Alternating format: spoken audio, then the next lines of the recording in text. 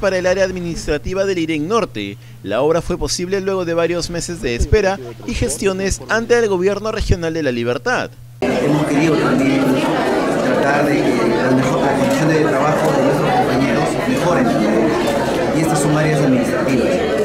Queremos también una calidad para los trabajadores, así como tener para los pacientes. Aunque los nuevos ambientes permitirían descongestionar algunas áreas, el director del IREN Norte dijo estar a la espera de la llegada de los equipos anunciados por el gobierno regional y que podrían concretizarse en las próximas semanas. Tenemos un proceso ya aproximadamente este, 5 millones de soles que se está haciendo con, con la aprobación de nuestro gobernador que lo manifestó cuando inauguramos los nuevos ambientes de centro quirúrgico, cuidados intensivos y sala de hospitalización, ya están en procesos. Son 5 millones de soles los que se invertirían en equipos para el centro quirúrgico y otros como máquinas de anestesia, camas para hospitalización, para UCI, entre otros ambientes.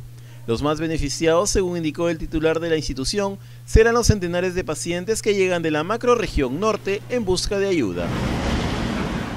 Y permanente